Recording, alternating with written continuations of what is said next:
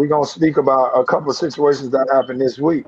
We had a couple kids, you know, get into it at practice, you know, at the We Are game, and it was a dad that was standing there, and then you had a coach seeing that the dad was there. His son got into a fight, so it's always two sides to a story.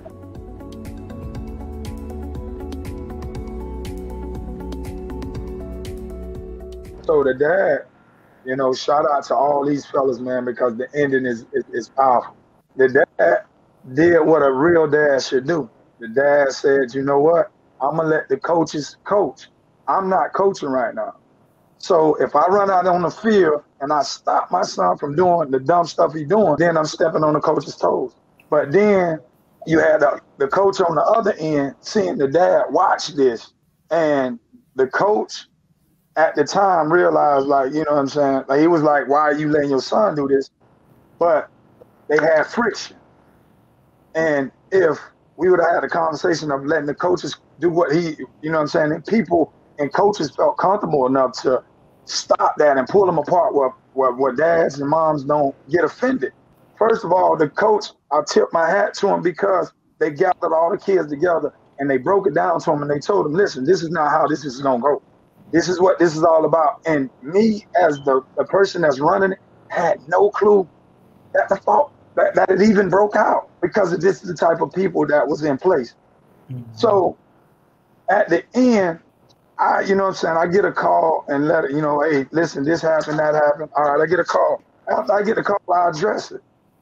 Oh, that's squash. Boom, boom, boom, boom, boom.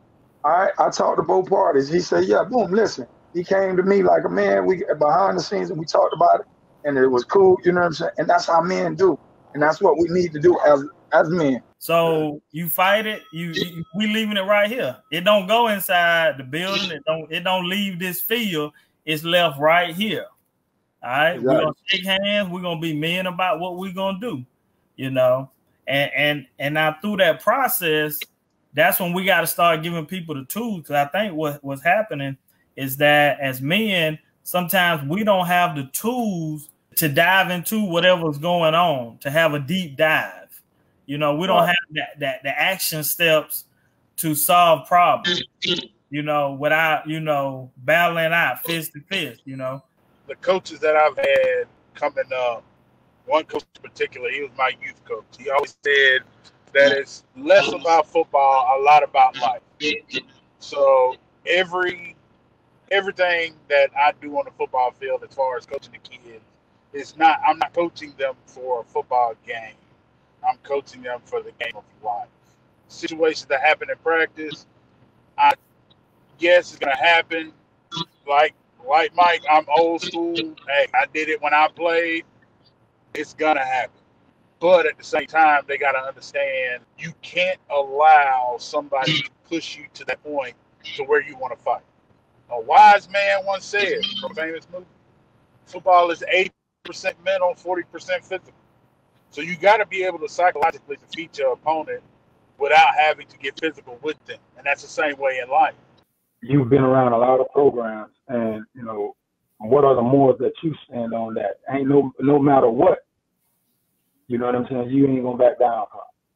Well, you know, first off, man, I I would have to say you know, looking back at all my years, man, when I first got into coaching, there was a guy by the name of Al Florence and Greg mm-hmm. Spartan. And uh, I started coaching with them uh, youth league. And Greg told me, he said, man, listen, he said, you ain't out here to be no friends.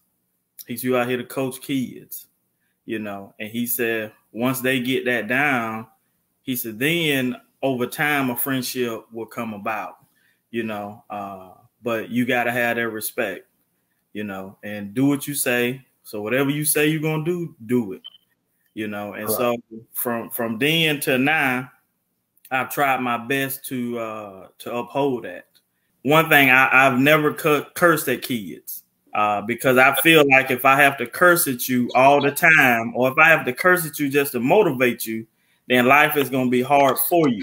I ain't gonna be there once you get 22, 23 to wake you up cursing at you to get you motivated to go to work.